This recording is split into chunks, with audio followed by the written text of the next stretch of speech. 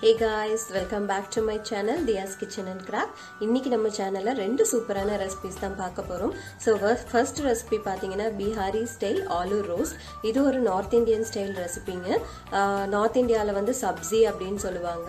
So இந்த recipe வந்து chapati puri so இந்த மாதிரி மெயின் டிஷ்க்கு சைட் டிஷ்ஷாக சாப்பிடுவாங்க. நெக்ஸ்ட்டு இன்னொரு ரெசிபி வந்து ஒரு சூப்பரான சேலட் ரெசிபி தான் நான் உங்களுக்கு காட்ட போகிறேன் ஸோ அதனால் வீடியோவை ஸ்கிப் பண்ணாமல் பாருங்கள் இப்போ ஃபர்ஸ்ட் ரெசிபிக்கு தேவையான இன்க்ரீடியன்ஸ் என்னென்னு பார்த்துடலாம் வாங்க.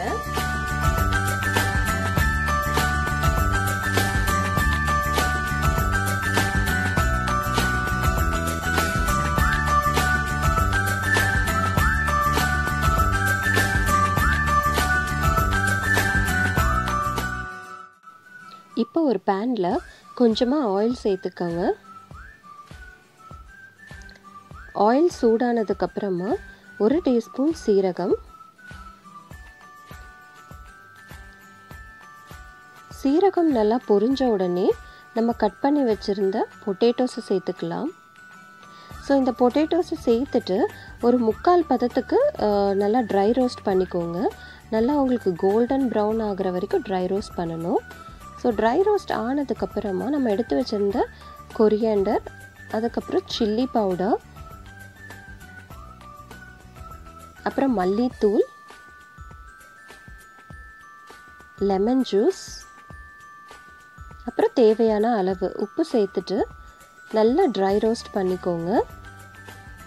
தண்ணி எதுவும் சேர்க்க வேண்டாம். தண்ணி சேர்த்திங்கன்னா டேஸ்ட் மாறிடும். அதனால் இது வந்து ஒரு ஃபைவ் டு செவன் மினிட்ஸ் நீங்கள் ட்ரை ரோஸ்ட் பண்ணால் போதும். ஏன்னா ஆல்ரெடி முக்கால் பதத்துக்கு ஃப்ரை ஆகிருக்கு ஸோ செவன் மினிட்ஸ் நீங்கள் குக் பண்ணிவிட்டு சர்வ் பண்ணிடலாம் ஸோ பாருங்கள் அவ்வளோதான். ரெடி ஆகிடுச்சு ரொம்ப சூப்பரான ஆலு ரோஸ்ட் ரெடி ஆகிடுச்சு இப்போ சர்வ் பண்ணிடலாம்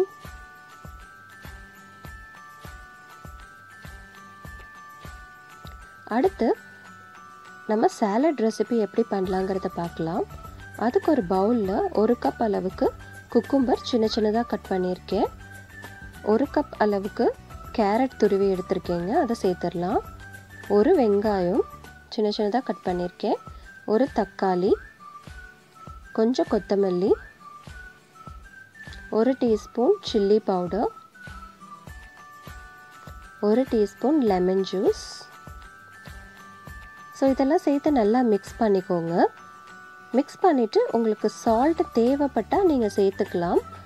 சால்ட்டு போடாமையும் இந்த சேலட் டேஸ்ட்டாக இருக்கும். சால்ட் வந்து மேண்டேட்ரி கிடையாது.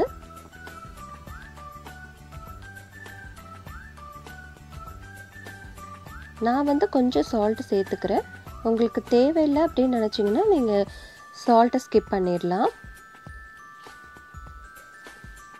ஸோ சால்ட் சேர்த்துட்டு நல்லா மிக்ஸ் பண்ணிக்கோங்க. அவ்வளோதான் நம்மளோட சேலடும் சூப்பராக ரெடி ஆகிடுச்சு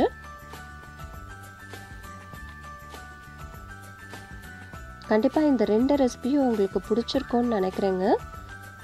எனக்கு ட்ரை பண்ணிவிட்டு கமெண்ட் பாக்ஸில் ஃபீட்பேக் சொல்ல மறந்துடாதீங்க.